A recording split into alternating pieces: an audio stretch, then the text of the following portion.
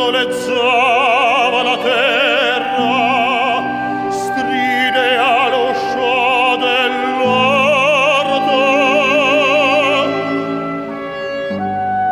E un passo sfiorava l'arena.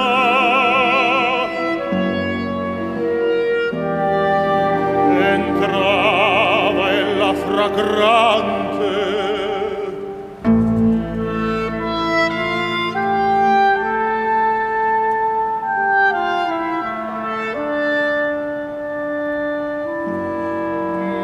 cadea